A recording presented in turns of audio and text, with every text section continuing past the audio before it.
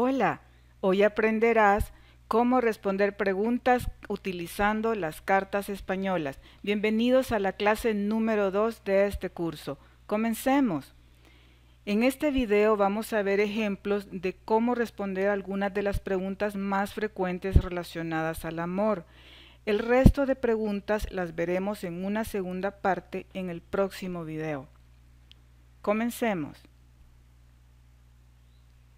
Una de las preguntas eh, más frecuentes que las personas hacen cuando les vamos a contestar preguntas, pues es si se van a casar o no.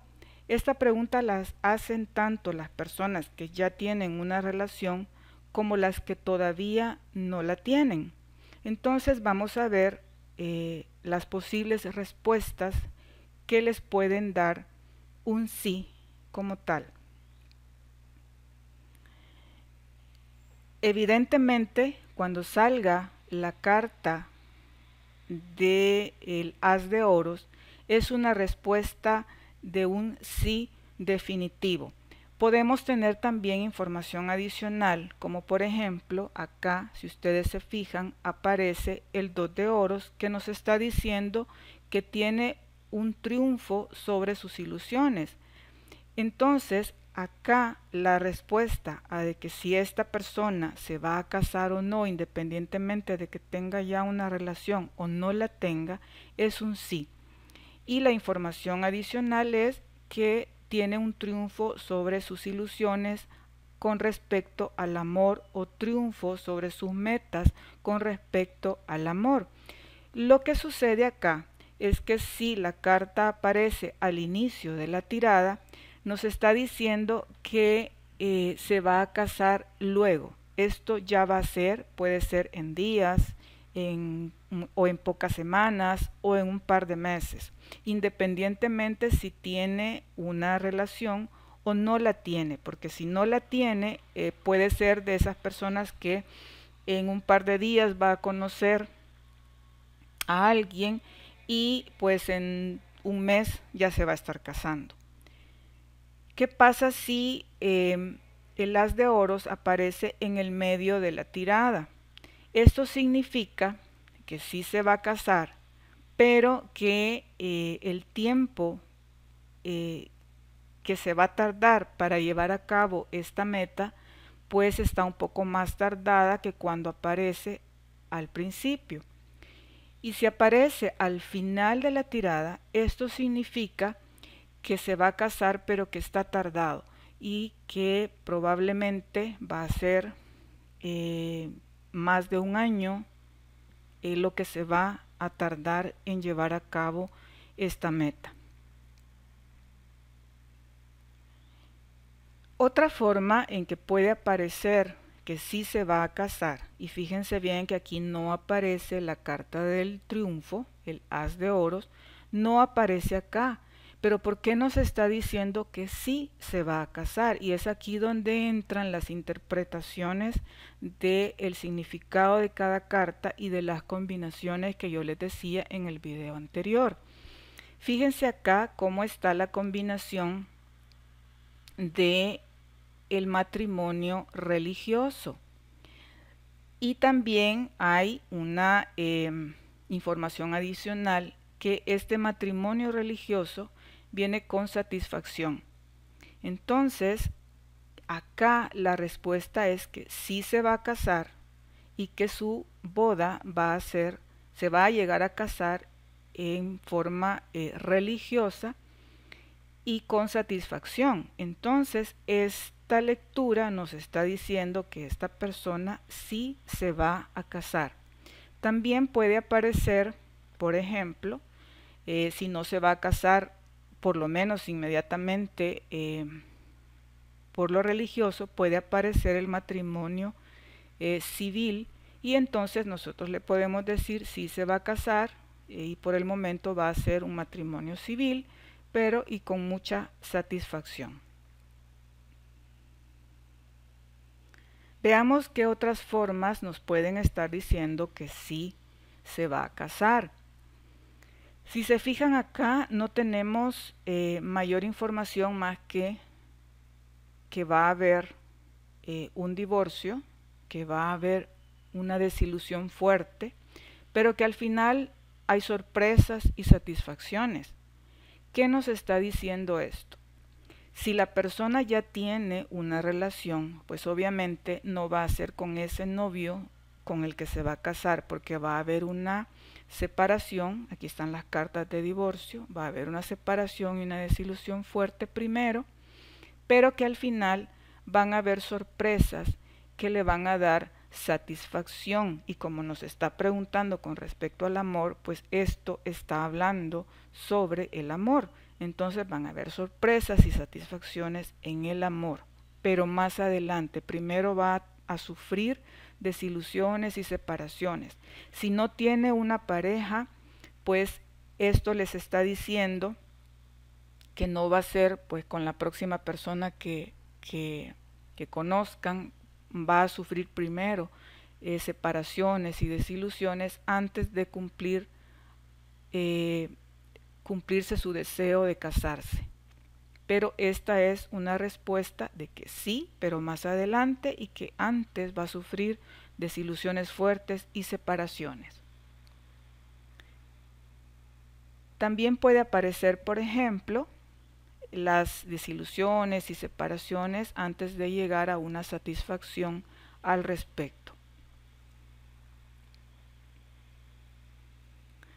También acá puede aparecer alegría eh, o alegría en el amor. Eh, la idea es que tienen que ir interpretando eh, todas las respuestas que les aparezcan dependiendo de lo que les han preguntado. Otra forma que puede aparecer acá, fíjense aquí, como hay desilusiones y lágrimas en el amor, pero más adelante habrán alegrías. Entonces, esta es una respuesta de esperanza positiva, como les explicaba en el primer video, en la que primero van a haber desilusiones en el amor, van a haber lágrimas en el amor, pero más adelante habrán alegrías y entonces posiblemente pues sí vaya a haber boda en algún momento, pero más adelante todavía no, ¿verdad? Miren cómo aparece al final.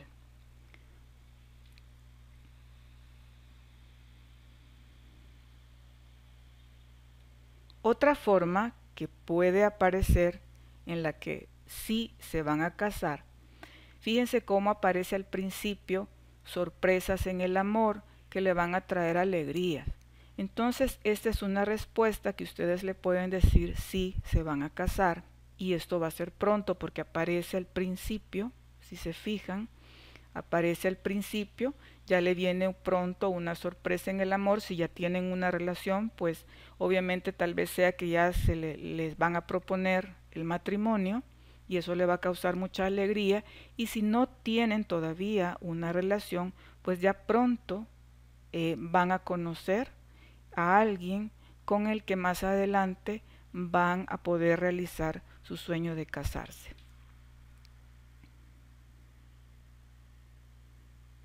Puede aparecer también al principio una alegría en el amor que eh, nos está diciendo que sí, esta persona pues ya pronto va a poder realizar su sueño de casarse. Otra forma que nos puede aparecer es que va, fíjense aquí cómo aparece la carta de triunfo, que nos está diciendo obviamente que sí, esta persona se va a casar pero que antes de casarse, pues va a sufrir fuertes desilusiones, va a sufrir mucho. Miren cuánto sufrimiento va a haber antes de que esta persona logre casarse. Puede ser eh, con el eh, con la relación que ya tenga, que tal vez tengan que vencer muchos obstáculos antes de, poder eh, casarse, o puede ser que pues vayan a ver desilusiones eh, y, fuertes eh, sufrimientos con la relación actual y que más adelante sea con otra persona con quien logren casarse. Acá les he puesto ejemplos de personas que pueden aparecer, no necesariamente eh, va a aparecer la persona que está consultando, pero que no nos van a indicar eh, nada a menos que aparezca alguna combinación como honores, como traiciones, pues ahí ustedes van a tener que ir interpretando y eh, poniendo en práctica todos los conocimientos que les di en el curso de cómo leer las cartas. Lo importante acá es que tengan la idea de cómo ir respondiendo, cómo es que van a ir interpretando eh, cada una de las respuestas dependiendo de las preguntas. ¿Cuándo va a ser un no por respuesta? Pues obviamente cuando no aparezca la carta del triunfo y no aparezca ninguna carta que les dé ninguna información positiva. Si se fijan acá no aparece nada que nos pueda estar dando una respuesta de sí. Entonces, por lo tanto, la respuesta será no. Otro tipo de preguntas que hacen eh, muy frecuentemente son personas que se están divorciando y quieren saber si eh, el divorcio va a ser favorable. ¿Cuándo la respuesta va a ser sí? Obviamente cuando salgan eh, las cartas de triunfo va a haber puede o no haber información adicional. Acá hay un poco de información adicional. Va a haber triunfos sobre la parte monetaria, van a quedar bien económicamente. Hay triunfos sobre, sobre estas ilusiones o sobre estas metas en cuanto a divorcio. El divorcio va a ser favorable para la persona que está haciendo la pregunta. Entonces la respuesta es sí. ¿Tendré un divorcio favorable? Sí. Y le va, a quedar bien económicamente. Otra forma que nos puede estar diciendo que sí va a ser favorable es cuando aparece al final, por ejemplo, la carta de satisfacción. Aquí también puede aparecer la carta de alegría. Eh, pero nos está diciendo que hay información adicional en la que si se fijan, fíjense cómo está aquí la carta de divorcio con muchas, eh, con cartas de mucho sufrimiento, de mucho pleito, de mucha cólera, de muchos obstáculos, y cómo acá esto representa una eh, institución legal, es decir, que van a haber muchas eh, conversaciones en una institución legal, en un juzgado, en la que va a haber mucho pleito, mucha discusión, muchos obstáculos, pero que al final todo va a ser satisfactorio. Entonces, la respuesta acá de ¿tendré un divorcio favorable? es sí, pero va a tener que pasar por todo esto antes de llegar a eh, una situación favorable.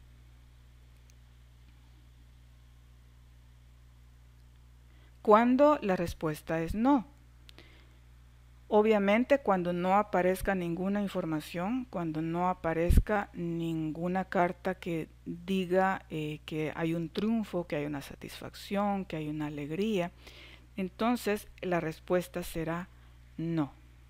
Si ustedes se fijan, acá no hay ninguna información que pueda estar relacionada con eh, el divorcio.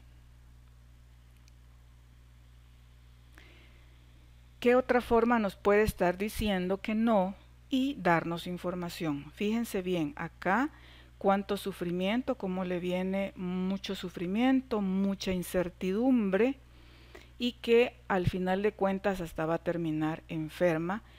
Si esta no es la persona que consulta, pues alguien en la casa va a terminar enferma de, tanto, de tanta discusión, de tanta incertidumbre, y si es la consultante, la persona que está haciendo la pregunta, la que aparece aquí, pues será ella la que eh, se enferme. Si no aparece ninguna persona, esto nos está diciendo que la persona que está eh, haciendo la pregunta es la que va a terminar enferma después de tanta eh, discusión y tanta, eh, tanto obstáculo. Entonces, aquí la respuesta de ¿tendré un divorcio favorable? es no y le podemos dar esta información de que van a haber muchas dificultades, mucha incertidumbre, muchos obstáculos que hasta va a terminar enferma. Bien, otra de las preguntas que eh, hacen muy frecuentemente es si eh, la pareja es infiel. Y acá vamos a comenzar eh, con un no de respuesta. ¿Cómo nos va, cómo vamos a decir no a esto? Y eh, esto es importante que empiece por el no, porque el tipo de respuesta es bien interesante, ya lo van a ver. Si ustedes se fijan en esta respuesta, la respuesta de ¿es mi pareja infiel? No, no le es infiel. Y ustedes dirán, ¿por qué la respuesta es no se aparece la carta del triunfo? La carta que cuya respuesta que da es sí. Ahora les explico. Esta carta del triunfo es una carta, es la mejor carta que puede aparecer en el naipe. Y esta carta siempre, recuerden esto, siempre les va a estar dando una respuesta eh, positiva, eh, siempre va a ser un triunfo. Entonces, el que la pareja no le sea infiel es un triunfo, ¿verdad? Entonces, ¿es mi pareja infiel? No, porque esto es un triunfo para quien está preguntando eh, algo negativo, o sea, el decirle a alguien su pareja es infiel es decirle algo negativo. Entonces, si ustedes le dicen que no, pues es algo positivo. Entonces le va a salir la carta del triunfo, porque es un triunfo que su pareja no le sea infiel. Entonces, esto va a responder que no a, a esta pregunta. Espero les haya quedado claro. ¿Qué otra forma nos va a estar diciendo que, que no, que su pareja no es infiel? Si la consultante es blanca, por ejemplo, eh, obviamente eh, su pareja en las, en las cartas será el rey de oros. Entonces, fíjense acá cómo la información que nos está dando las cartas es que el pensamiento de él, el pensamiento de ambos, es con compromiso, es con amor, e incluso piensan en la noche uno en el otro, en la casa con alegría. Entonces aquí les está diciendo no, su pareja no es infiel, porque toda la información que le está dando es positiva. ¿Qué otra, em, ¿qué otra respuesta les puede estar diciendo que, em, que no es infiel? Obviamente cuando no aparezca ninguna información que les esté diciendo lo contrario, ¿verdad? Aquí no aparece ninguna información que les esté diciendo que la persona sea infiel, entonces la respuesta acá es no, no es infiel. Otra de las eh, respuestas que puede aparecer, y recuerden que aquí les estoy dando ejemplos, eh, porque obviamente eh, la cantidad de respuestas yo podría pasar horas acá dándoles ejemplos, pero la idea es que ustedes entiendan que tienen que interpretar cada respuesta dependiendo de la pregunta y esa interpretación solo se las va a dar el conocimiento que adquirieron en el curso de cómo leer las cartas que les di anteriormente. Entonces, acá, ¿por qué les está diciendo que no, que su pareja no es infiel? Fíjense acá cómo aparece él en la casa. Si la consultante es una mujer blanca, pues aparece él en la casa con amor hacia ella, con regalos sorpresa, que hay bastante información. Entonces acá les está diciendo no, él es su interés es en ella. Entonces, no, su pareja no le está siendo infiel. También puede aparecer aquí él, el pensamiento de él en pensamiento y en persona con ella, ¿verdad? Interesado en ella porque está antes, con mucho amor. ¿Cuándo va a ser un sí? ¿Cuándo sí la pareja es infiel? Uno de los ejemplos que les traigo, y esto se los enseñé en el curso, es por ejemplo que aparezca eh, la pareja de nuestra consultante eh, con amor y teniendo relaciones íntimas con otra persona, ¿verdad? Como son de diferente manjar, pues obviamente esta no es la esposa de él, ni la pareja de él, ni la novia de él. Entonces, si nuestra consultante es blanca, ustedes ya saben eso, su pareja va a ser el hombre blanco, pero si éste aparece con otra persona, pues obviamente le está siendo infiel. Y le está siendo infiel acá, en este ejemplo, en el trabajo porque ella está en el trabajo. Entonces es una persona que está en el trabajo con quien él está teniendo relaciones íntimas, está, eh, hay amor entre ambos y más adelante incluso van a pensar en casarse. Fíjense, un matrimonio eh, civil. Entonces, esta es una forma de decir si su pareja le está siendo infiel. Y el resto de ejemplos de que sí su pareja eh, le está siendo infiel, pues se los di en la clase de infidelidad, de cómo reconocer la infidelidad, en el curso de cómo leer las cartas que les di anteriormente. Si esta es primera vez que escuchas mis videos, pues puedes suscribirte a mi canal, donde encontrarás dicho curso.